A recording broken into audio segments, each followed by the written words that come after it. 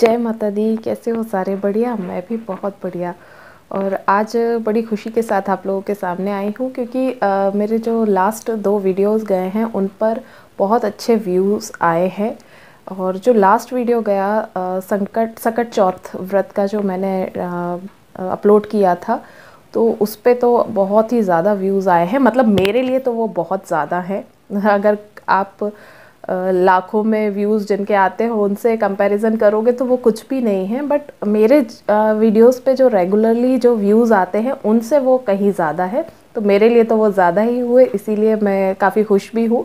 और मेरे जो नए व्यूअर्स हैं और कुछ सब्सक्राइबर भी मेरे साथ मेरे चैनल पर जुड़े हैं तो बाकी जो मेरे व्यूअर्स हैं, उनसे कहना चाहूँगी कि अगर आपने चैनल को सब्सक्राइब नहीं किया है तो सब्सक्राइब कर लीजिए और लाइक और शेयर करना तो बिल्कुल भी नहीं भूलिएगा। और साथ ही मेरे कुछ पहले के भी वीडियोस हैं जो कि आप लोगों को शायद पसंद आए तो इसलिए मैं आ, नीचे डिस्क्रिप्शन बॉक्स में उन वीडियोस के लिंक आप लोगों के साथ शेयर कर दूँगी तो आप उन्हें वहाँ से क्लिक कर कर आप उन वीडियोस को भी देख सकते हैं। बाकी आज के वीडियो में क्या है तो आज मैं आप लोगों को बताऊँगी शेयर करूँगी आप लोगों के साथ में कि पॉम पॉम मैंने किस तरह से बनाया था तो वो आप लोगों के साथ शेयर करूँगी पूरा प्रोसेस और मैंने जो पॉम बनाए थे, वो किस तरह से लग रहे थे तो उसको देखने के लिए सबसे पहले आप ये एक वीडियो देखिए छोटा सा जिसमें कि जो मैंने पॉम बनाए हुए थे, वही यूज़ हुए हैं। तो चलिए चलते हैं, वो पहले वो वीडियो देखते हैं, उसके बाद हम पॉम पॉम मैंने किस तरह से बनाया था, वो आप लोगों के साथ शेयर करूँगी।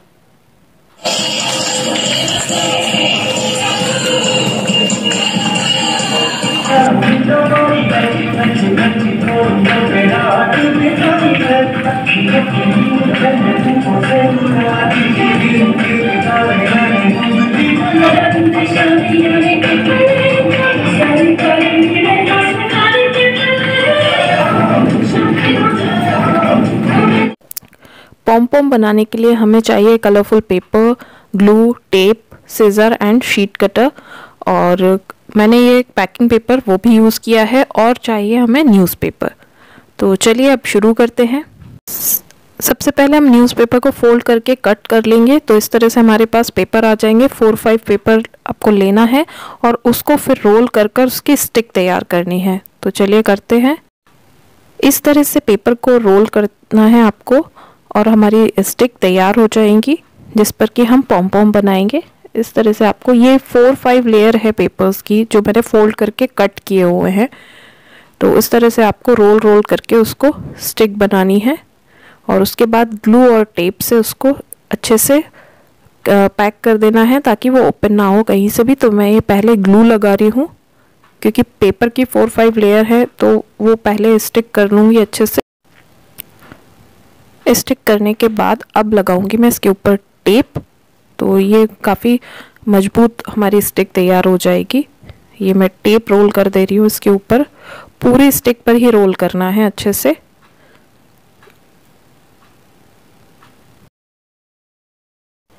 इस तरह से हमारी स्टिक तैयार हो जाएँगी। तो ये अभी पम्पम का आधा पार्ट तैयार हुआ है। अभी आगे की प्रोसेस करते हैं। अब लेना है हमें पेपर कलरफुल पेपर तो इसको सबसे पहले हम फोल्ड करेंगे और कट कर लेंगे।